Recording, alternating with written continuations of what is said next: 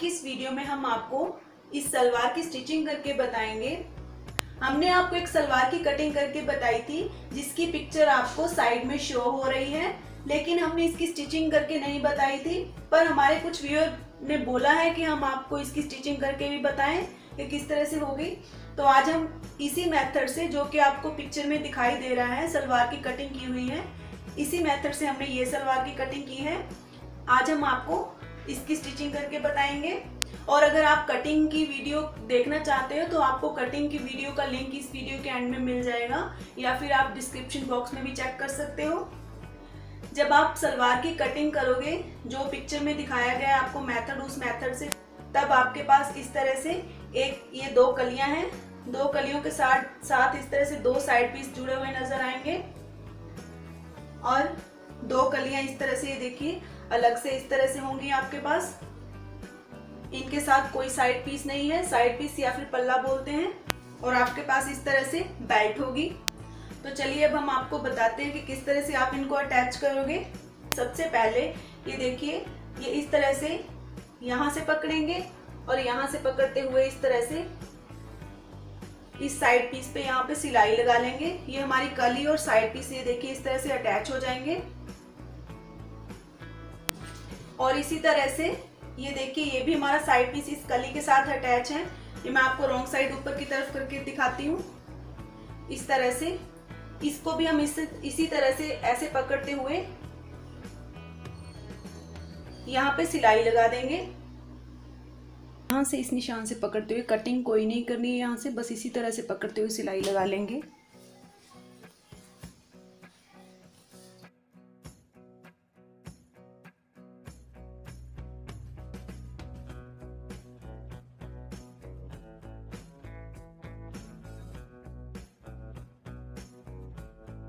ये इस तरह से हमने एक साइड पीस इस तरह से इसको अटैच कर लिया, ये देखिए। ये हमारी सिलाई आ गई है यहाँ पे। ये कली और साइड पीस जो है अटैच हो चुके हैं। इसी तरह से दूसरे पे भी सिलाई लगा लेंगे।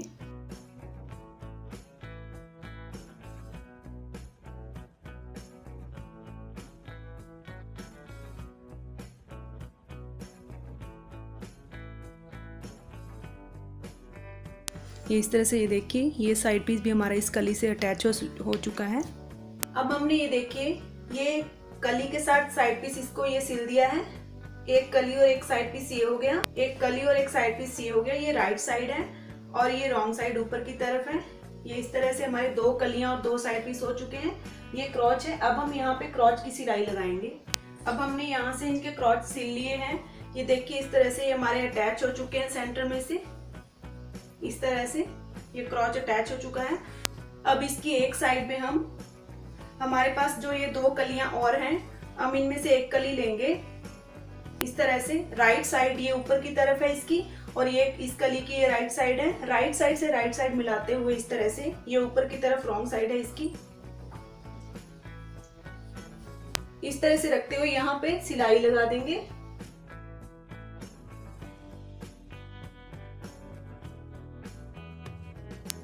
जो हमारा दूसरा कली का पीस है हमारे पास, ये वाला पीस लेंगे।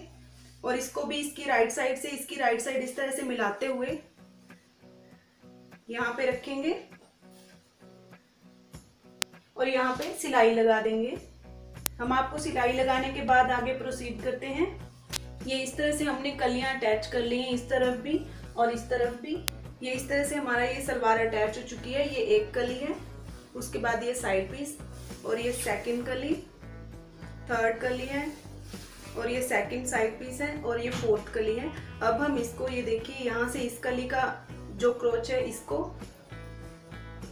और यहाँ से ये जो दूसरी कली का क्रोच है, इन दोनों को इस तरह से करते हुए।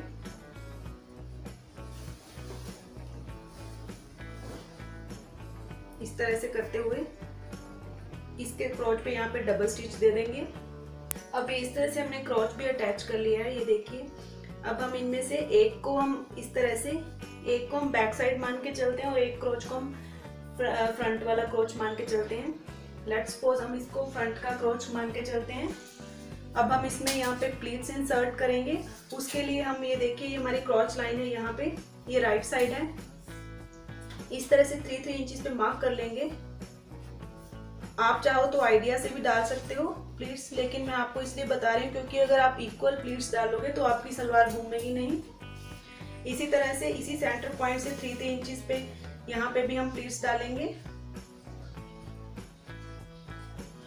और इसी तरह से बैक साइड में भी हम एक एक प्लीट डालेंगे सेंटर ये है क्रॉच है ये, इसके इस तरफ़ भी हम थ्री इंच पे मार्क कर लेंगे और इस साइड भी थ्री इंच पे मार्क कर लेंगे। इस तरह से ये हमारा फ्रंट वाली साइड है और ये बैक वाली साइड है। पहले हम ये जो बैक वाला क्रॉच है, ये देखिए हमने ये हमारा क्रॉच है और ये हमने निशान लगाए हैं।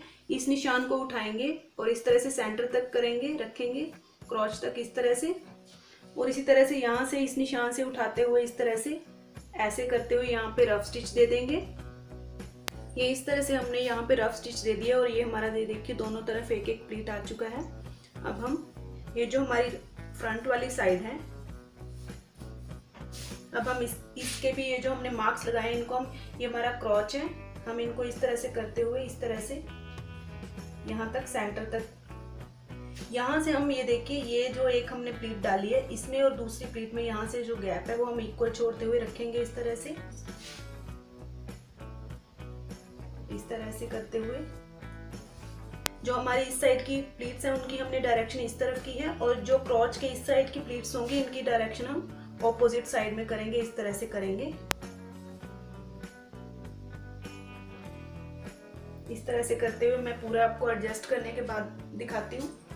ये इस तरह से हमने दोनों तरफ़, ये देखिए प्लीट्स हमने इस तरह से, जैसे हमने आपको बताया था, ये हमारा क्रॉच है, दोनों तरफ़ हमने इस तरह से एडजस्ट कर लिए प्लीट्स को। अब हम यहाँ पे इसमें इस तरह से ये बैक साइड हमारी नीचे की तरफ़ है, ये देखिए बैक वाला जो क्रॉच है, अब हम ये ऊपर वाले क्रॉच को लेंगे और यहाँ पे इस पे रफ स्टिच दे देंगे। और इसमें रफ स्टिच देने के बाद हम ये हमारी बेल्ट है बेल्ट की हमारी दोनों तरफ़ से दोनों साइड्स खुली है, यहाँ से भी और इधर से भी ये साइड खुली है हमारी। अब हम दोनों इस साइड में हम पूरा स्टिच दे देंगे, बंद कर देंगे।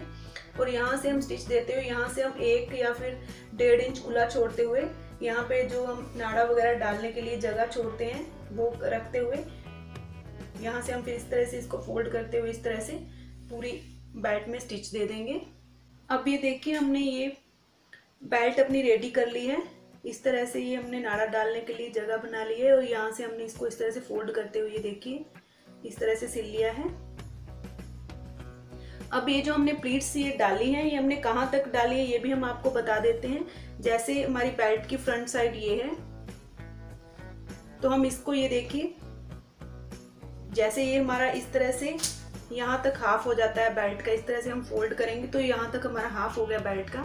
तो हम यहाँ से, ये हमारी बन साइड है, ये कुली साइड है, यहाँ से हम करीब करीब डेढ़ इंच छोड़ते हुए मीन्स इधर से भी और इस साइड से भी, दोनों साइड से इस तरह से जब हम इसको खोलेंगे तो इस तरह से दोनों तरफ़ से इतना इतना छोड़ते हुए यहाँ पे हम ये फ्रंट की तरफ़ रखेंगे, बेल्ट का ये वाली साइड हम फ्रंट में रखेंगे। यहाँ पे हम इसको इस तरह से सिल लेंगे और बाकी जो बच जाएगी, बाकी में हम सारी में ऐसे ही सिलाई लगा लेंगे। अब हम पहले आपको यहाँ से लेके, यहाँ तक फ्रंट तक सिल के रख के बताते हैं किस तरह से सिलेंगे। अब जब हम बेल्ट को अटैच करेंगे तो ये देखिए यहाँ पे क्रॉच है। यहाँ पे हम इस तरह से रखते हुए इसको, इस तरह से रखते हुए इस तरह से यहाँ पे सिलाई लगा लेंगे, यहाँ से यहाँ और यहाँ से यहाँ तक, इस पॉइंट तक। इस तरह से सिलाई लगाने के बाद ये इस तरह से हो जाएगा हमारा, इस तरह से आ जाएगा। इस तरह से रखते हुए फिर हम, इस तरह से हम बेल्ट को रखते हुए, पूरी सलवार में इस तरह से यहाँ पे रखते हुए ऐसे स्टिच कर लेंगे। ये देखिए इस तरह से हमने सिलाई लगा ली है।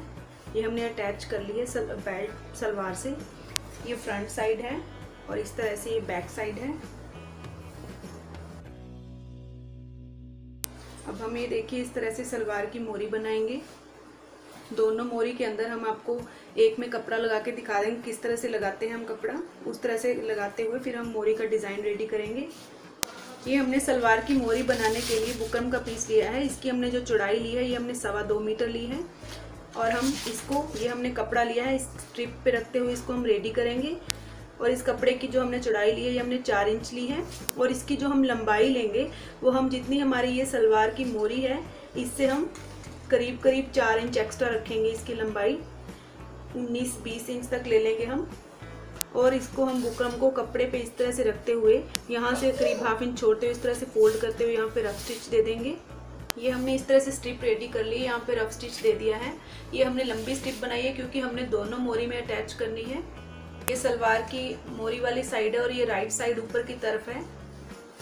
इसके ऊपर हम इसको इस तरह से रखते हुए, और ये जो हमने बुकरम अटैच किया, ये हमने कपड़े की रॉन्ग साइड पे अटैच की है। ये रॉन्ग साइड है इस तरफ़ कपड़े की। इस तरह से रखते हुए हम इस तरह से।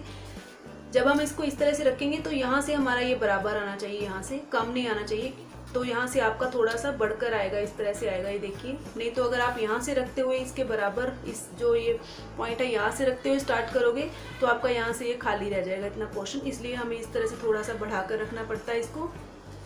अब हम इसको इस तरह से रखते हुए यहाँ पे बुकरम के किनारे पे सिलाई लगा देंगे। ये इस तरह से हमने यहाँ पे सिलाई लगा ली है। अब ये देखिए, हम इसको इस तरह से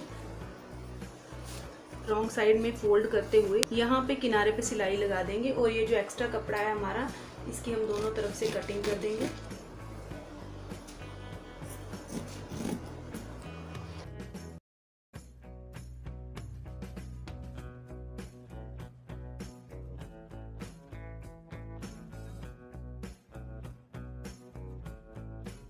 अब हम इसके साथ, इसी सिलाई के साथ यहाँ पे एक फुट का गैप छोड़ते हुए एक और सिलाई लगा देंगे।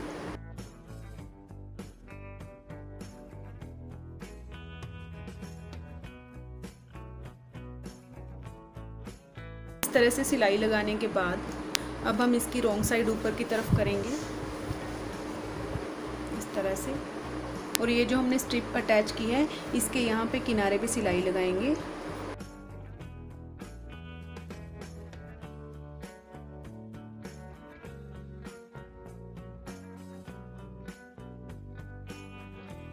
ये इस तरह से हमने यहाँ पे स्ट्रिप के किनारे पे सिलाई लगा ली है।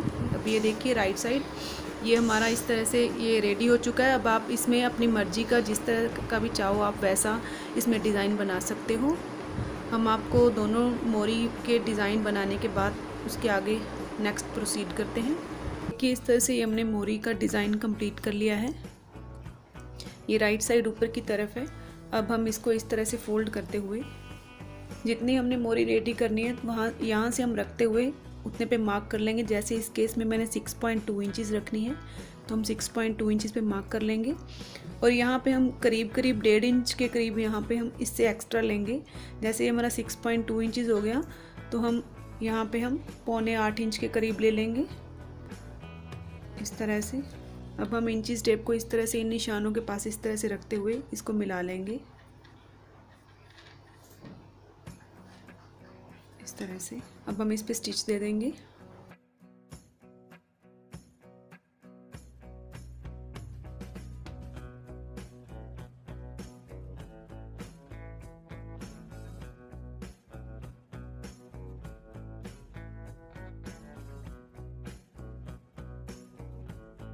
ये देखिए, इसी तरह से सिलते हुए हमारी ये क्रोच की सिलाई आ गई है यहाँ पे। इस तरह दोनों तरह, दोनों साइड की। तो हम इसमें ये सिलाई से सिलाई इस तरह से मिलाकर रखते हुए, यहाँ से बिल्कुल सिलाई से सिलाई मिलकर आनी चाहिए, इस तरह से मिलाकर रखते हुए फिर इस पर सिलाई दे देंगे।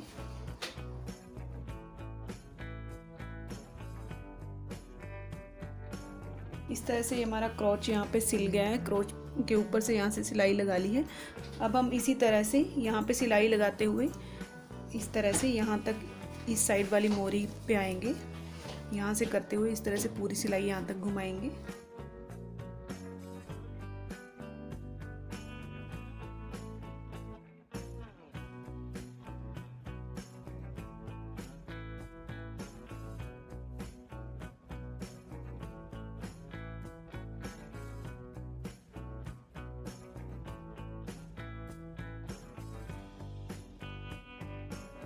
ये हमने सलवार में, ये मोरी वाली जो सिलाई हमने लगाई है, ये सेंटर वाली, ये लगाते हुए हमने कंप्लीट कर लिया है। इस तरह से ये हमारी सलवार की स्टिचिंग कंप्लीट हो चुकी है। अगर आपको हमारी ये वीडियो अच्छी लगती है तो हमारी वीडियो को लाइक और शेयर करना मत भूलिएगा। हमारी हर नई वीडियो को सबसे पहले देखने के लिए नोटिफिकेशन बेल का बटन ज़रूर दबाइएगा। Thanks for watching bye